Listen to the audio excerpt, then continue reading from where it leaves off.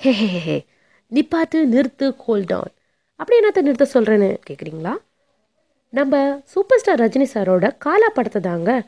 என்னடா இது? First logo title release பட்டையை கிளப்புச்சே இப்படி வந்து ஆஃப் பண்ண சொல்கிறீங்கன்னு கேட்டால் சத்தியமாக நான் சொல்லலைங்க. சென்னை போரூரை சேர்ந்த கே. ராஜசேகரன் என்றவர் மனு தாக்கல் பண்ணியிருக்காருங்க. அடக்கடவுளே அப்படி என்ன மனு தாக்கல் பண்ணியிருக்காருன்னு கேட்டிங்கன்னா காலா படம் கதை என்னோட கதை. மும்பையில் இருந்து நான் தான் ஃபுல்லாக டிசைன் பண்ணியிருக்கேன்னு சொல்லியிருக்காருங்க.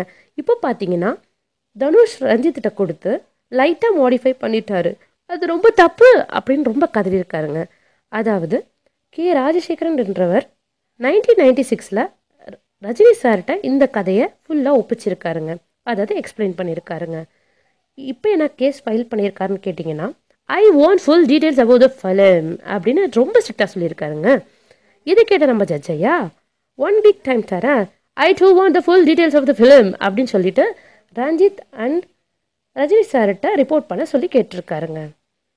ஒரு பக்கம் மனு தாக்கல் நினச்சா ஐயோ பாவம் அப்படின்னு இருந்தாலும் இன்னொரு பக்கம் கதையை சுட்டுட்டிங்களே ஏஜமா அப்படின்னு ஃபீல் ஆகுதுங்க.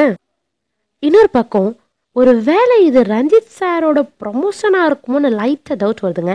Because is very Killadi in that promotion types and all ஏன்னா அவர் ரொம்ப அழகாக ப்ரொமோஷன் இப்படி தாங்க க்ரியேட் பண்ணுவார். லெட் சி இது நிஜமாவே உண்மையான கதையா? இல்லை அனைத்தும் பொய்யா? அப்படின்னு.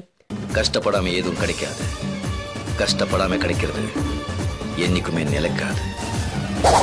மேலும் சினிமா சம்மந்தப்பட்ட செய்திகளுக்கு சினிமா செவன் டுவெண்ட்டி சேனலை சப்ஸ்கிரைப் பண்ணுங்கள் அப்டேட்ஸ்க்கு ஃபாலோ பண்ணுங்கள் குறும்பார்ஜி ஐஸ்வர்யா.